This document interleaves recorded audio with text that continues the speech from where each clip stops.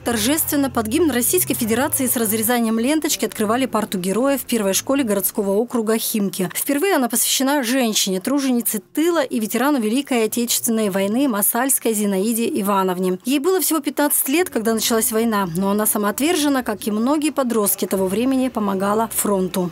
Ее дочь когда-то работала в нашем учреждении музыкальным руководителем.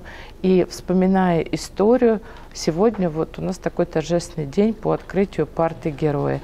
Чтобы помнили, чтобы знали, чтобы чтили своих героев, химчан. Всю жизнь Зинаида Павловна Масальская прожила в Химках и трудилась на заводе Лавочкина. За многолетнюю добросовестную работу награждена высокой государственной наградой, а за самоотверженный труд во время Великой Отечественной войны удостоена различных медалей.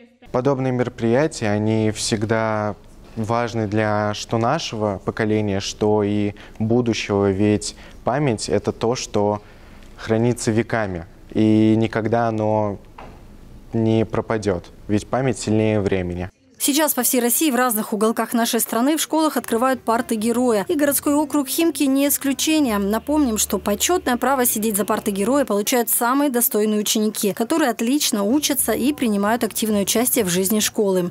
Юлия Самошина, Руслан Сафин. Новости Химки ТВ.